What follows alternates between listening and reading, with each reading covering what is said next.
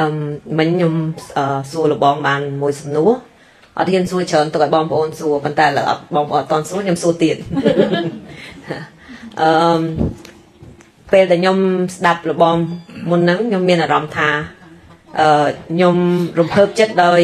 ខ្ញុំធ្វើជាកូនសិស្សលបងចរិតដោយលបងច្រើន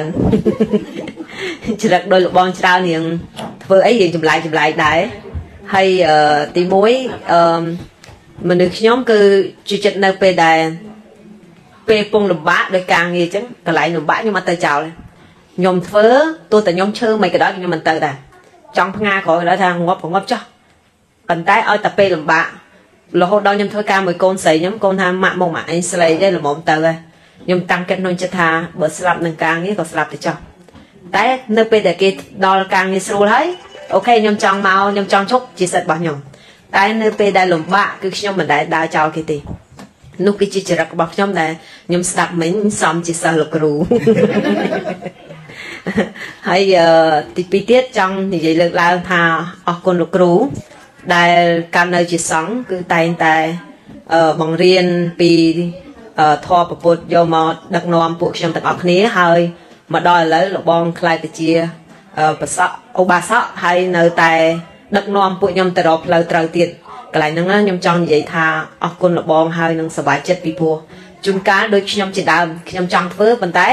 អត់ដឹងត្រូវធ្វើមិនហើយនិយាយចំថាចង់ដែរតែយើងអត់ដឹងថាត្រូវធ្វើបែបយ៉ាងម៉េចទេដូចថ្ងៃមុនអញ្ចឹងអឺខ្ញុំអត់ មានសទ្ធាហើយក៏អត់បានដឹងដែរព្រោះខ្ញុំអត់បានស្គាល់គាត់ដែលជាអ្នកស្លាប់ល្អំស្រីដែលជាអ្នកស្លាប់ទេប៉ុន្តែដោយសទ្ធាហើយនឹងដោយលបងជាថ្នាក់ដឹកនាំជាគ្រូគឺបានបង្រៀនបានពង្យល់ហើយឲ្យពួកខ្ញុំទាំងអស់គ្នាដើរទៅតាមផ្លូវត្រូវហើយមានភាពសាមគ្គីភាពគ្នា រវាងជាពិសេសពុទ្ធបរិស័ទយើងទាំងអស់គ្នាអឺពីព្រោះជឿច្រឹកខ្ញុំដែរបើគេហៅរំច្រៀងអីខ្ញុំចង់ទៅក៏ទៅមិនទៅហើយប៉ុន្តែឲ្យតែអ្នកដែលខ្ញុំស្គាល់គាត់ស្លាប់ គឺខ្ញុំតែខាតត្រូវតែជួយបើមិនយ៉ាងហោចណាស់គឺត្រូវតែថវិកាដើម្បីជួយគ្នានៅពេលដែលមានទុកហ្នឹងនឹងជាចរិតរបស់ខ្ញុំដែលខ្ញុំស័កសមនឹងជាកូនសិស្សលោកគ្រូហើយលោកគ្រូបានដឹកនាំចឹងទៀតក៏អរគុណលោកគ្រូមែនតែនពីព្រោះពេលខ្លះបើគ្មានថ្នាក់ដឹកនាំទេធ្វើអីក៏អត់ចេញដែរចឹងលោកគ្រូនៅតែជាថ្នាក់ដឹកនាំដ៏អស្ចារ្យដែលបង្រៀនពួកខ្ញុំហើយអ្នកដែលមិនបានយល់ពីបញ្ហាអស់ហ្នឹងពីព្រោះអីដោយលោកគ្រូថាចឹងសេចក្តីស្លាប់វាអត់មានទៀងទាត់អត់ដឹងអត់ កំណត់ពេលវេលាបានទេអញ្ចឹងមានតែយើងទាំងអស់គ្នារួមគ្នាជួយមានទុកអីធំជាងហ្នឹងឯងគេពីទុកហ្នឹងគឺសំខាន់ណាស់ហើយយើងត្រូវតែជួយគ្នាទោះថាមិនបានចិត្តដិតអីក៏ត្រូវតែជួយគ្នាចែករំលែក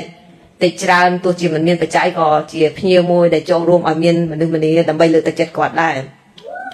ហើយខ្ញុំចង់មានគម្រោងមួយដែរពីព្រោះអីខ្ញុំឃើញថាធម្មតាពេលអ្នកដែលស្លាប់ទៅច្រើនតែញាតញោម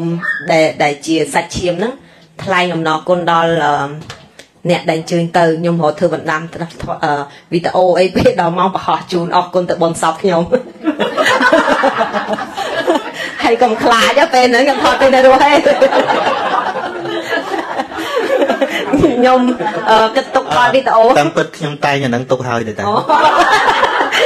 ខ្ញុំតែងហើយខ្ញុំស្មូតទុកហើយថាបនខ្ញុំចាក់អាហ្នឹងទៅ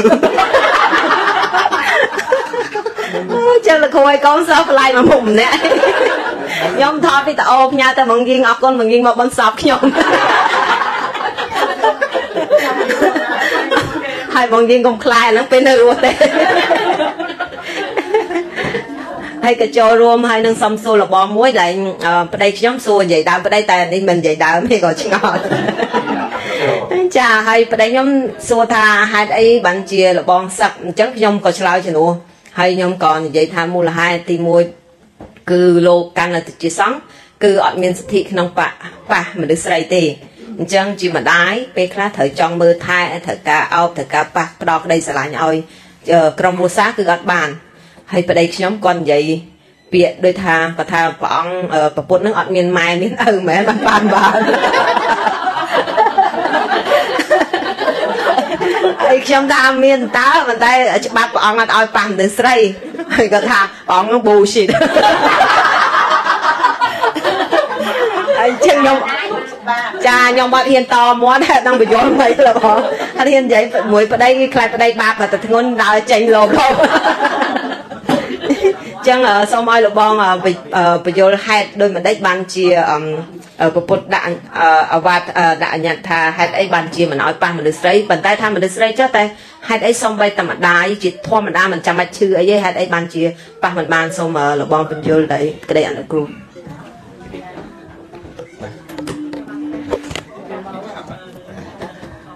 ចេះទេអឺធៀបពិត ភេទមួយហ្នឹងគឺជាភេទដែលដាច់ដោយឡែកពីសង្គមច្រើនអញ្ចឹងណាហើយខ្ញុំពិសោធន៍ចិត្តខ្ញុំឧទាហរណ៍ថានៅពេលដែលខ្ញុំនៅភេទហ្នឹងខ្ញុំគិតថាការប៉ះភេទដែលខុសគ្នាហ្នឹងគឺថាវាដូច something ហ្មងណា something wrong ដូច something wrong ហ្មងណាប៉ុន្តែដល់ពេលប៉ះធម្មតាញាតិញោមមកថតធម្មតាឡើយហ្នឹងវាវាទៅជារឿងសាមញ្ញដល់ច្រើនអញ្ចឹងណាចាហ្នឹងហើយអញ្ចឹង ខ្ញុំចង់និយាយថាដូចគោដូចគោដែលប្រខាំងនៅក្នុងក្រោលណានៅក្នុងក្រោលណាខណៈស្មៅរិចរិចគោវាគឺវាបោចដែរឲ្យតែវាបោចត្រូវចាតែបើគោដើរស៊ីនេះឯងនៅខាងក្រៅហើយហ្នឹងអាស្មៅមុំហ្នឹងវាអត់ស៊ីទេបាទហើយដល់ពេលភេទមួយហ្នឹងដូចទូទៅអត់ប៉ះហើយមានពេលខ្លះឲ្យតែប៉ះភេទខុសគ្នាវារីអាក់វាវាវាវាសិនហ្នឹងគឺប្លែកហ្មងឃើញដំបងឡើងខ្ញុំញ័រជើង ញ៉ាត់ញញោមថតចិត្តខ្ញុំដឹងថាខ្ញុំញ័រទុទុទុទុទុអូយមិនទេយ៉ាងចឹងលបងពេលថ្ងៃខ្ទឹមប្រហែលញ័រដែរខ្ញុំគិតតែប្រហែលជាលេខសើអីតែឥឡូវសាមញ្ញហ្នឹងដូចដូចធម្មតាសាមញ្ញធម្មតាអញ្ចឹងអញ្ចឹងបានថាมันខុសពីអាហារទេបើថាយើងអត់យូរឃ្លានប៉ុន្តែបើដល់ហូបទៅបានគេថាណា កូនអ្នកមានណាកូនអ្នកក្ររើសស៊ីដល់កូនអ្នកមានស៊ីរើសឃើញទេហ្នឹងដល់វាជាសាមញ្ញទូទៅអញ្ចឹងទៅវាអត់សូវអីទេតែដល់ភេទលោកហ្នឹងចុះផ្ដាច់គ្រប់យ៉ាងអញ្ចឹងទៅអញ្ចឹងបានគាត់ឲ្យសម្រួមសម្រួមតែអារម្មណ៍ដែលដែលបាក់ដែលបាក់ហ្នឹងមកតែបន្តិចហ្នឹងក៏វារៀងវារៀងហ្នឹងហើយវាវា something wrong ហ្មងហ្នឹងហើយអញ្ចឹងបើជ្រុលអត់ប៉ះអត់ងោះហ្មងទៅប៉ុន្តែសួរបាទសួរលោកបងថាហេតុអីបានដាក់វិន័យសំបីតែម្ដាយយើងប៉ះបានដូចខ្ញុំនិយាយចឹង ព្រោះនៅក្នុងសម័យហ្នឹងក៏មានពិខុប្រព្រឹត្តខុសជាមួយប្អូនឯងជាមួយម្ដាយអីក៏មានដែរវាមានដោយសារមានហេតុដោយសារមានហេតុអញ្ចឹងបានព្រះអង្គបញ្ញត្តិអញ្ចឹងណាចង់តែខ្ញុំសួរទៀតណាហ្នឹងហើយចំពោះមនុស្សម្នាក់សោះដាក់ទាំងអស់គ្នាព្រោះអាសវៈកន្លែងហ្នឹងដូចគ្នាអញ្ចឹងកាលណាវាវាត្រូវបានហាមទៅជាតែចង់មនុស្សចាឥឡូវខ្ញុំលើកឧទាហរណ៍ថាដូចមនុស្សយើងស្លៀកពាក់ចឹងបង្ហាញតិចតិចជាចង់ដឹងសាក់បង្ហាញអស់បើចប់ទៅហ៊ានមើលអញ្ចឹងបើចូលបាត់ឯបាត់ហ្មងទៅ កុំអានតិចតិចហ្នឹងប៉ុន្តែគ្រាន់តែចេះគ្រាន់ថាដូចកន្លែងហ្នឹងថាកន្លែងយើង train ភេទហ្នឹងគឺជាភេទដែល train ដែល work hard មែនតើណាអញ្ចឹងប៉ុន្តែវាវាមិនមែនដាច់ខាតថាអឺត្រូវតែមិនប៉ះរហូតចឹងទេបើយើងបើយើងតមកន្លែងហ្នឹងមិនបានយើងសឹកទៅឃើញឃើញព្រះអង្គឲ្យឱកាសហ៎ឲ្យឱកាសយើងហ៎ហ្នឹងហើយតែបើជាអញ្ចឹងយើងព្រមធ្វើ ដោយវឹកហាត់ថាកន្លែងណាដែលព្រះអង្គបញ្ញត្តិយើងព្រមអញ្ចឹងអញ្ចឹងបានខ្ញុំទៅរៀនអឺមិត្តភក្តិមួយមកពីអ៊ីរ៉ាក់អីមិនដឹងទេគេកំពុងអង្គុយងោកអញ្ចឹងព្រោះកូនឈឺពេកយប់ហ៎ដេកហ្នឹងហើយឃើញខ្ញុំទៅរៀនមកញឹមញឹមរាល់ថ្ងៃណែអត់កាត់ទុកអីសោះបានថាមានអីខ្ញុំអត់មានអីបាក់នៅណែឯងផងបានគេនិយាយរឿងគ្រួសារអីអីអញ្ចឹងគេសួរខ្ញុំមកនៅនេះតែឯងឬក៏គ្រួសារមកដែរ ខ្ញុំថាមានប្អូនស្រីមួយមកនៅនេះអត់ទេយក family family ហ្នឹងមិនពុនកូនខ្ញុំអូខ្ញុំអត់មានពុនកូនផងហ៎អត់មានពុនកូនទេចុះអត់មានពុនអត់មានកូនមាន girlfriend អត់អាហ្នឹងក៏អត់ដែរគឺថា how you survive រស់ល្មិចគឺថាថាប្រពន្ធកូនអត់ចុះហើយអត់ girlfriend ទៀតណៃរស់មិនណៃជាប់តន្តកម្មអី គឺអញ្ចឹងគេមិនមែនគិតថាយើងបដិបត្តិតាមវិន័យគេសួរថាខ្ញុំតើខ្ញុំខ្ញុំជាប់អា punishment អីគេមានទោសអីតាមវិន័យបាទហើយអាយុ40ផ្លាយហើយហ្នឹងហើយអត់មានសូម្បី girlfriend រួមល្មិចរួមល្មិចថាទេអាហ្នឹងខ្ញុំស្ម័គ្រចិត្តតែហើយគេសួរថាចុះណែឯងមកជីវិតហ្នឹងអត់រហូតហ៎តែមិនទេតែខ្ញុំចង់បានសឹកថ្ងៃហ្នឹងយកបុណ្យស្អែកឬក៏សឹកថ្ងៃហ្នឹងយកបុណ្យភ្លាមអត់បញ្ហា really អូអញ្ចឹងមិនគេថា not bad not bad គេស្មានថាត្រូវជាប់តនកម្មមួយជីវិតអញ្ចឹងណាគេថាអញ្ចឹងថាអត់ទេខ្ញុំស្ម័គ្រចិត្តយល់ទេអាពាក្យស្ម័គ្រចិត្តវាខុសពីការបខំណែខ្ញុំអត់មានជាប់សន្យាថាព្រះអង្គឲ្យខ្ញុំនៅមួយជីវិតទេអត់ទេតែបើខ្ញុំពេញចិត្តនៅអញ្ចឹងខ្ញុំនៅសិនទៅហ្នឹងហើយតែបើខ្ញុំអេចង់ទៅរកគ្នាវិញណាខ្ញុំថាអត់យូរទេដាក់ភ្លាមការភ្លាមថ្ងៃតែមួយហ្នឹងក៏អត់ខុសដែរអត់ខុសណាកុំឲ្យកាងលោកមិនមិនណែទុំ បាទដូចនេនទុំហ្នឹងវាអត់បានសឹកទេសឹកបាយដបោកមានឈ្មោះថាអត់សឹកហើយបាទព្រោះសឹកដូចខ្ញុំបញ្យល់ថ្ងៃមុនអញ្ចឹងតើមានសាក់សៃហៅថាសឹកបាទនឹងហើយអរគុណកាហ្វឿងដែរដែលបានឆ្លើយជំនួសខ្ញុំអឺដែលថាគេសួរថាសឹកយកប្រពន្ធមែនហើយលោកសឹកឲ្យមិនយកប្រពន្ធទេមិនយកអីឲ្យយកយកយកខ្លាមែនអត់ទេដោយសារ សាក់សីក៏ពិតមែនតែអត់បានពោលអត់បានពោលទេទៅដល់ដោះស្បង់ចោលទៅបដ ாய் ហ្នឹងមានគ្នាច្រើនក៏ដោយមកជុំនឹងក៏ដោយបើអត់ពោលតាមវិន័យទេអត់ដាច់ទេបាទដូចខ្ញុំថ្ងៃមុនចឹងបើខ្ញុំអត់ពោលលាទេហើយមិនឲ្យចងចាំចឹងទៅខ្ញុំនៅតែលោកទៅដែរណាបើសាមនេះដោះចេញទៅទៅខ្ញុំនឹងមកស្មានថាបួស តែបួសមកជីវិតមានដឹងគេសប្បានអូទុំនេនទេហើយអូបើនេនទៅឲ្យសឹកអាហ្នឹងព្រោះព្រោះនេនមានអង្គ3កោសក់ស្លៀកស្បង់ជីវរហើយនឹងត្រៃសនៈគុំអស់អាណាមួយអស់ហើយហ្នឹងហើយតែលែងមានទាំង3ហ្នឹងលែងនេនហើយ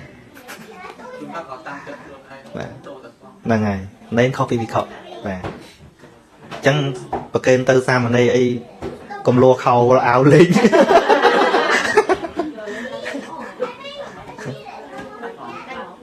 ហ្នឹងហើយ ពួកអង្គរបស់សាមណេរ3កោសក់ស្លៀកស្បង់ជីវរត្រៃសនៈគុំដាច់អាណាមួយក៏ដាច់ដែរបាទបើវិខុអត់ទេណាវិខុ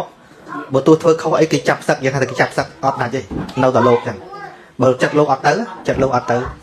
អត់នៅតែលោកថ្ងៃណាមួយមានសេរីភាពពាក់ស្បង់ជីវរវិញលោកវិញដែរលោកដឹងនៅវិសក់ហ្នឹងម៉េចចុះដូចរឿងអីរឿងវិខុមួយអង្គចោលលួចជីវរនោះ ហើយនាងស្រីម្នាក់គាត់ទៅស៊ីស៊ីឈ្នួលគេប្រហែលឆ្នាំបានសម្ពុតកម្មពលដល់ពេលឃើញលោកគេប្លន់យកអាជីវរអស់ស្លៀកស្លឹកឈើហ៎ហ្នឹងហើយនៅតែលោកចឹងមិនមែនចោលលួចស្បង់ជីវរអស់ឈប់លោកណាហ្នឹងហើយបានសម្ពុតហ្នឹងទៅមកស្លៀកដណ្ដប់ជាលោកវិញទៅលោកដែរឃើញទេហ្នឹងហើយបាទអត់ទេបាត់ទេហើយស្បងរងថ្ងៃតែមុននោះយកទៅណាអត់បោកបត់ទុកចាំប្រកេនលោកមកលោកមកទៅឲ្យត្រង់ថ្មីទៀតបាទបាទ ហ្នឹងហើយអានេះបើលោកប្រើអត់ខុសអីទេអត់ខុសអីទេបាទហ្នឹងមានលក់អ្នកលក់បាទ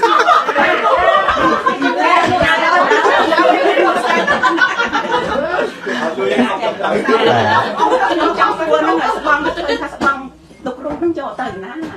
ទុកទុកបត់ទុក បោកទុកស្អាតហើយបើសិនជាប្រសងលោកមុនមកលោកចង់ប្រើប្រកេនលោកបានហើយបើទុកខ្ញុំអីសុំអីក៏អត់សុំទេអត់អីទេចង់បានយកបានតាខ្ញុំចង់បានចាថ្ងៃថ្ងៃយកតែនឹងពីសម្មាពុទ្ធមកបាទរបស់ក្លឹបមិនមែនតែយើងយកទៅមិនបានទេបានយកបានបាទ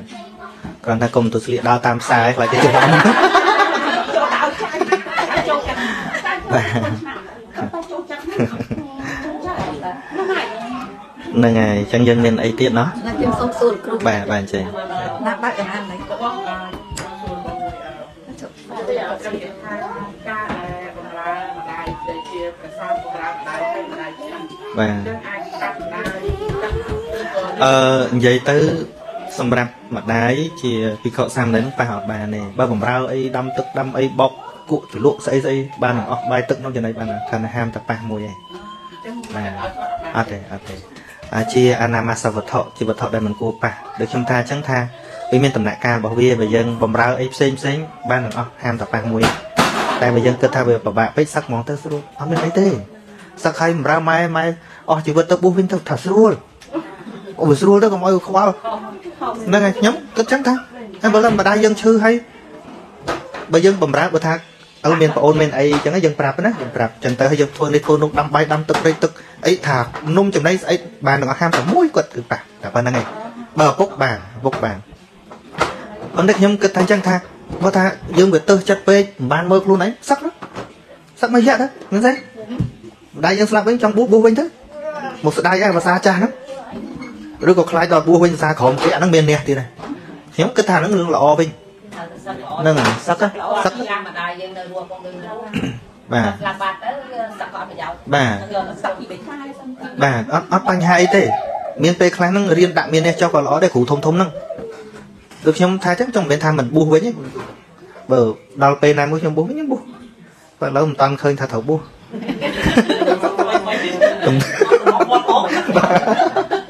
តែខ្ញុំសុំព្រោះឥឡូវព្រោះគ្រូធំខ្លះបាក់សឹកហ្នឹងហើយចេះ បាក់សឹកដោយសារអីសឹកឲ្យដល់បួសវិញដូចអញទូជាងគេអាហ្នឹងសិតតែរឿងចុះកាលនៅបួសអង្គុយលើគេអាសនៈខ្ពស់ជាងគេដល់សឹកមកវិញហើយបងបួសទៅវិញអង្គុយក្រោមគេពិបាកហ្នឹងហើយតាមពិតអាហ្នឹងកន្លែង train ចិត្តមួយទៀតរៀនរៀនធ្វើអ្នកតូចម្ដងមើលតាមមិនដែរមែនទេទៅខ្ញុំដូចអត់មានអីហងខ្ញុំជម្រាបសួរញាតិញោមបងប្អូនអីចឹងខ្ញុំអត់មានទុនអត់មានខ្មាស់ដៃអីផងពីមុនត្រូវគេស្វែងគុំរហូតមិនចឹង ឥឡូវខ្ញុំលើកមុនគេទៀតអីផង